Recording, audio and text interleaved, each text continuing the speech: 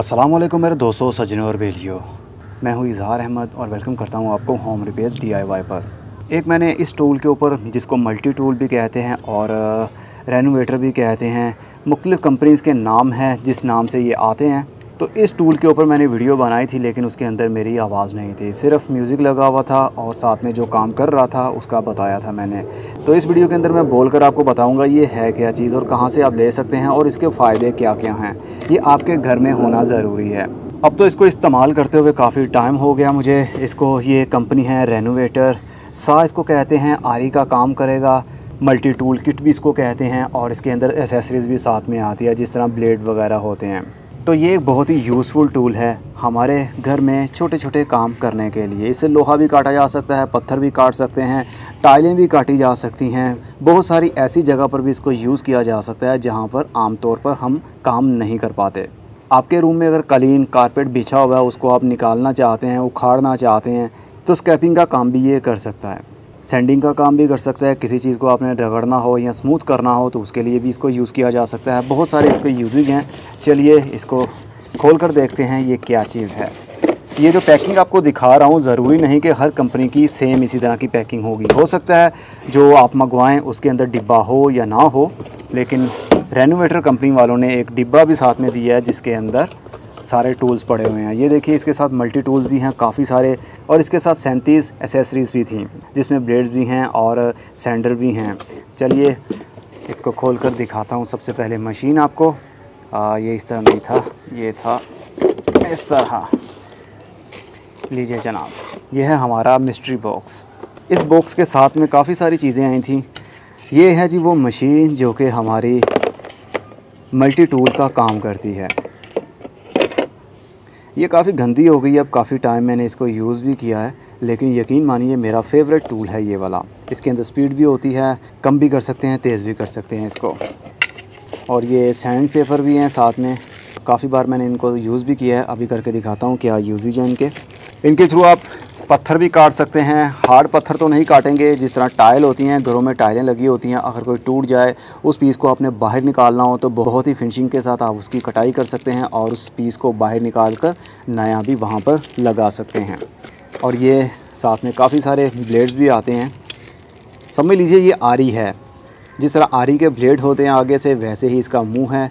छोटी लकड़ी हो प्लास्टिक हो मेटल हो इनको काटने के लिए ये यूज़ किया जाता है। किसी चीज़ को उखाड़ना हो, जिस तरह रूम में कारपेट होता है, उसको उखाड़ना हो तो उससे भी ये बहुत ही आसानी से उखड़ जाता है। पेंट को उखाड़ना हो, जो दीवारों के ऊपर पेंट होता है, उसको भी ये उखाड़ने में मददगार साबित होता है।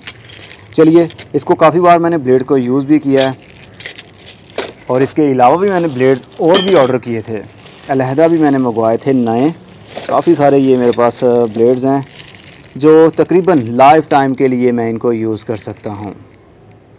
मुख्तलिफ़ साइज़ हैं इनके, मुख्तलिफ़ कामों में ये इस्तेमाल किया जा सकता है। बहरहाल मैं आपको कॉमन कॉमन सा जो काम है वो बताता हूँ कि इसे हम क्या कर सकते हैं। ये देखिए, बड़े वाले ब्लेड भी हैं साथ में।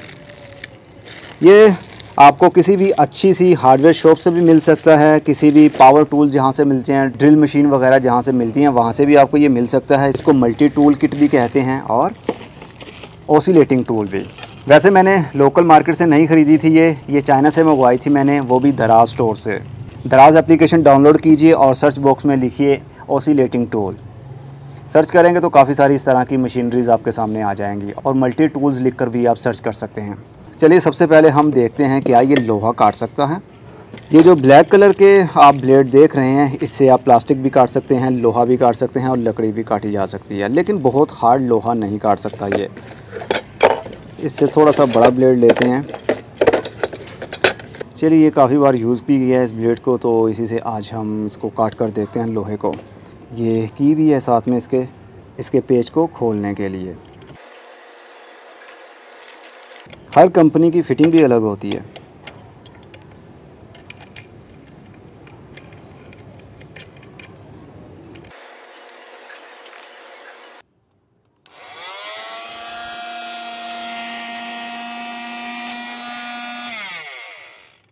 ये कटर की तरह घोल घूमता नहीं है। इससे आपके जो आ, हाथ को चोट लग जाने का ख़तरा भी नहीं रहेगा। ये बहुत ही ईजी टू यूज़ है और गौर से देखने पर पता लगेगा आपको ये ब्लेड लेफ़्ट राइट मूव कर रहे हैं थोड़ा थोड़ा सा।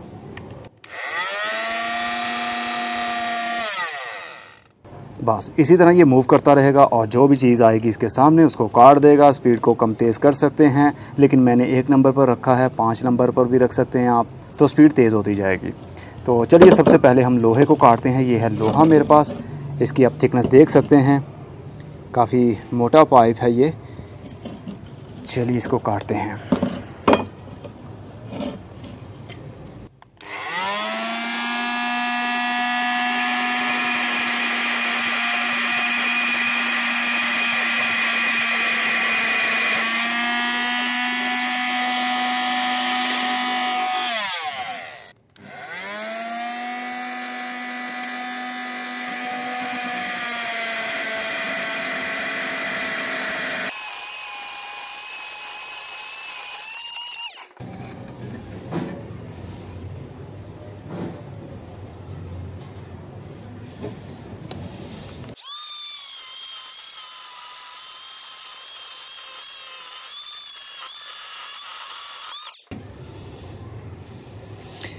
तो देखा आपने, कितनी आसानी से हमने इसको काट दिया। बिल्कुल इस तरह काटा जिस तरह एक प्रोफेशनल बंदा काटता है। चलिए जी, लोहे का टेस्ट तो हो गया। आप प्लास्टिक के ऊपर भी टेस्ट कर लेते हैं। प्लास्टिक का ये पीवीसी प्लास्टिक का पाइप है, जो कि काफ़ी मोटा भी है। इसको ये टूल ऐसी जगह पर भी यूज़ हो सकता है। फॉर एग्ज़ाम्पल इसके सेंटर में हमने एक कट बनाना है, एक डिब्बा बनाना है तो हम कैसे उसको काटेंगे वहाँ से? तो ओसिलेटिंग टूल इज़ बेस्ट अगर छोटा ब्लेड लगाएँगे, छोटा कट आएगा, बड़ा लगाएँगे तो बड़ा आएगा। लीजिए जनाब, ये भी हमारा कट लग गया। देखा आपने कितनी आसानी से हमने किया। अगर हाथ से आरी की मदद से हम ये करते तो बहुत ही ज़ोर जमाई करनी पड़ती हमें। लेकिन ओसिलेटिंग टूल से बहुत ही आसानी से हो गया। चलिए अब लकड़ी के ऊपर भी एक्सपेरिमेंट कर लेते हैं। ये नोट कीजिए, हमारा सिर्फ़ अभी एक ही ब्लेड लगा हुआ है, जो लोहे को भी काट रहा है और प्लास्टिक को भी। अब टाइम आता है लकड़ी का।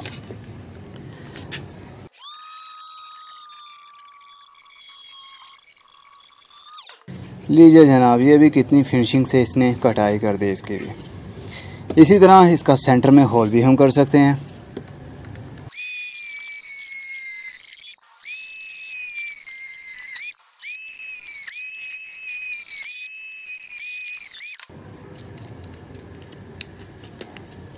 लीजिए जनाब, लकड़ी के अंदर भी इसने खोल कर दिया है।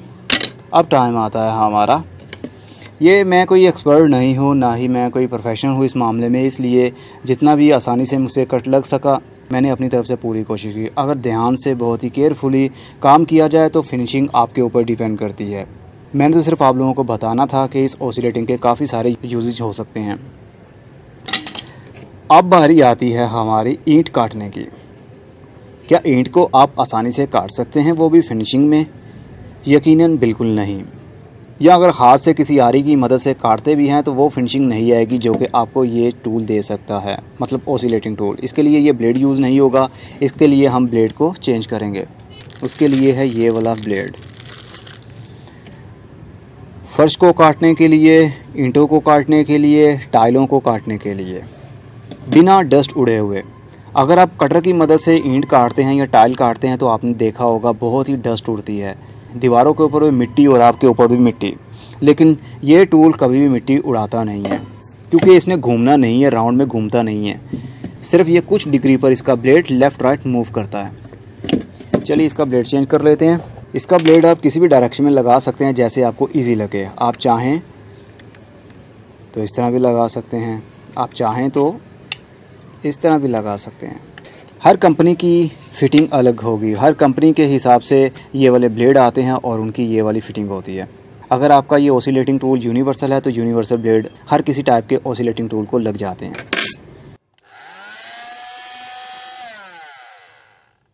देखा, बहुत ही थोड़े से एंगल में ये लेफ़्ट राइट घूमता है और अपना काम कर देता है, क्योंकि इसकी स्पीड ही बहुत ज़्यादा है। चलिए जनाब, इसको फिनिशिंग में काटते हैं हम। चलिए यहीं से काटते हैं।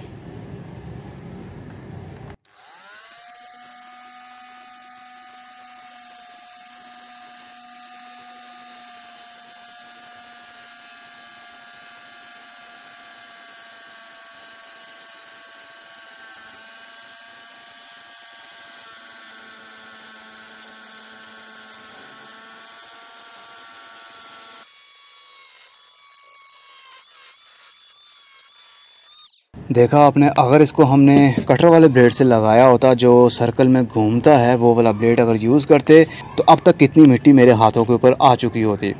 लेकिन इसने मिट्टी को उड़ाया ही नहीं, बिल्कुल नीचे, एकदम से नीचे गिर रही है। ये कमाल है, जिसकी वजह से ये टूल मुझे बहुत अच्छा लगता है। ये देखिए, इसने कितनी गहराई में एक कट लगा दिया। चलिए ऊपर से इसको काटते हैं।